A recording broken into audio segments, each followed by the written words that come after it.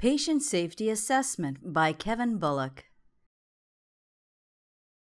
Healthcare workers in all healthcare settings should always adhere to the latest World Health Organization guidelines on hand hygiene and barrier precautions before and after contact with a patient, bodily fluids, or patient surroundings.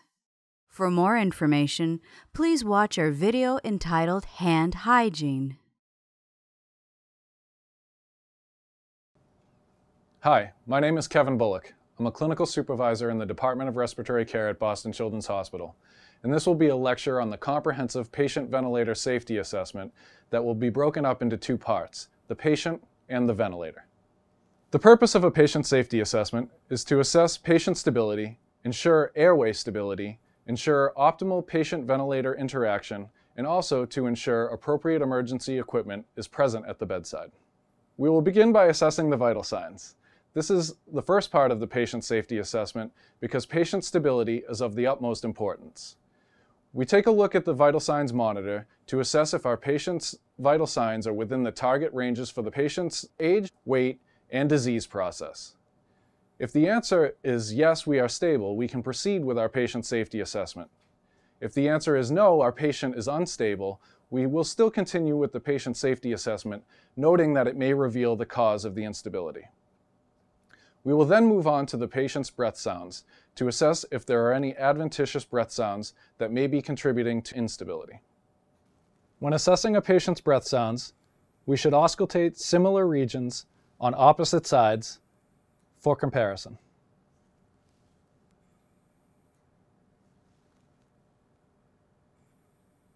While we have our stethoscope on, we should also auscultate the neck to listen for a leak around our endotracheal tube cuff and assist us in our cuff management.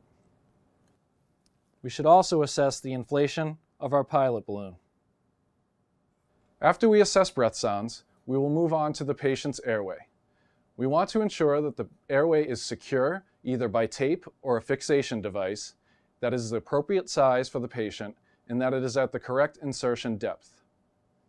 Here is a chart of suggested size endotracheal tubes for the newborn ranges. Once we get to six months of age or greater, we may use a formula to estimate the patient's endotracheal tube size. Your age plus 16 divided by 4 will give you an approximate size.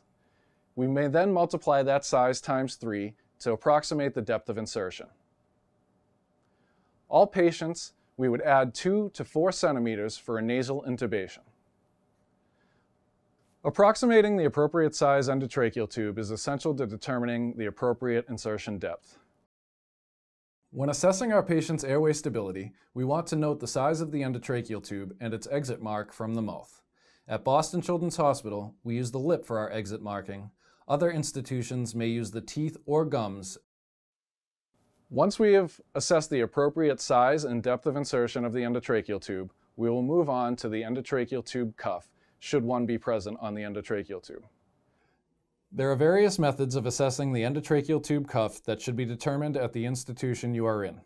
The goal of assessing cuff inflation is to prevent tracheal damage from overinflation, placing undue stress on the walls of the trachea. It is also to prevent microaspiration and therefore ventilator-associated events. Proper cuff management will also allow effective ventilation and more accurate monitoring of tidal volumes and end tidal carbon dioxide. Minimal leak technique is a method that may be used to assess a slight leak at the peak of inspiration. Minimally occlusive volume will take your minimal leak technique and add just a little more air to occlude that leak. The last measurement of cuff inflation would be by an actual cuff pressure monitor. When we monitor cuff pressure, we want to maintain a cuff pressure between 20 and 25 centimeters of water and not to exceed 30 centimeters of water. Next, we will move on to the skin assessment. We want to assess the skin to prevent device-related pressure ulcers. This is especially important in patients with low cardiac output states or severe edema. Endotracheal tube placing pressure on the lips can cause mucosal damage, erythema, breakdown, and in severe cases, necrosis. This is especially true with nasal intubations. It is a highly vascular area and is prone to being torqued and having many more pinch points depending on how the tube is fixated to the patient. When we assess the skin, it could be quite difficult to actually see the skin underneath the tape or fixation device, so we must do our best job to try to visualize the skin. As we assess its exit marking, we should take this opportunity to assess the patient's skin underneath the fixation device. Oftentimes, routine takedown of the tape is necessary to get a full assessment of the skin. In cases where there may be damage occurring due to the device placing pressure, we might want to move the endotracheal tube to a different position, particularly when it is an oral intubation. Just as simply as sliding it to the middle of the mouth and resecuring it, or to the opposite side of the mouth and resecuring it. Unfortunately, we do not have this option with a nasal endotracheal tube. It will take reintubating the patient in the opposite nare to relieve the pressure on the nare. Sometimes, though, we may alter our taping methods to relieve the pressure in the area of concern. Once we have completed assessment of the vital signs, breath sounds, endotracheal tube security, and skin integrity, we must look for any special considerations for our patient and their artificial airway. Does the patient have a critical or difficult airway? Should there be signage at the bedside indicating the grade of airway and who must be present should the endotracheal tube come out and need to be placed back in? Is there a laryngeal mask airway at the bedside? Or is it an infrequently used airway, such as a double lumen endotracheal tube, a bronchial endotracheal tube, a special RAE endotracheal tube, or a wire reinforced endotracheal tube? Other special considerations might be if your patient is awake and requires a bite block to keep them from occluding their airway. All assessments should be the same for a patient with a tracheostomy tube. The only consideration we should have there is whether there is a same size tracheostomy tube at the bedside as well as a smaller size tracheostomy tube, and if anything about that tracheostomy tube is custom. We will want to make sure that we have that custom tube at the bedside or a backup plan in case one is not commercially available.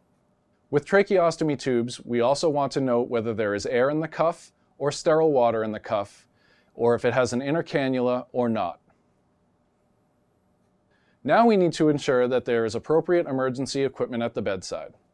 We make sure we have an appropriate sized manual ventilation device, an appropriate sized anesthesia mask, that both of them function properly, and in some special considerations for premature infants, or congenital heart disease patients, do we require a blender at the bedside to adjust the FiO2? Next, we will take a look at the patient-ventilator interaction. We want to make sure our patient is comfortable. Are they triggering? When they ask for a breath, is the breath delivered in a timely fashion? Are they synchronous with the ventilator? Do they inhale and exhale without any interruption of the mechanical ventilation breaths? Are spontaneous breaths supported? Does inspiration terminate appropriately?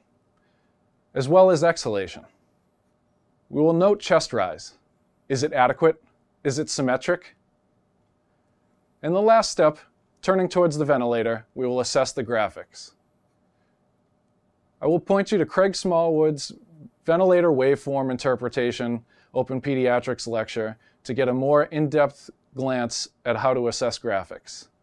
But we should look at the pressure, flow, volume, and end tidal waveforms. Assessment of these waveforms will help us to optimize synchrony, triggering, and overall ventilation for our patient. And this concludes our patient safety assessment. Please help us improve the content by providing us with some feedback.